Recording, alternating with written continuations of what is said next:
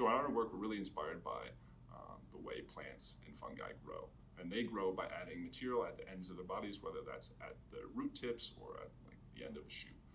And so the reason they do this is because it's a really efficient way to get through uh, space. And we took this and we put it into an engineered system. We found a way to have robots that could grow um, by adding materials at the end of their bodies. And so the, the really nice thing about this is we found out in the engineering systems as well, uh, when they grow through the environment, they face really reduced uh, resistance. And that allows them to be used in a lot of different possible applications, such as growing through soil to deploy infrastructure, um, to uh, investigate uh, different hard to reach places like uh, damaged pipes, or even uh, applications like growing in the body to reach vasculature that's really hard to get to.